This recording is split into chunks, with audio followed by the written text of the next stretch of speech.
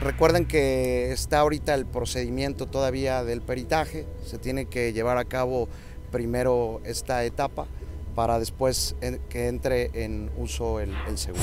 Va a tardar. ¿El próximo año? Seguramente sí, no podría decir una fecha, eh, nosotros seremos los primeros en anunciarlo, eh, pero no tenemos una fecha establecida para que el seguro pueda pues cumplir y poder contar ya con el siguiente helicóptero.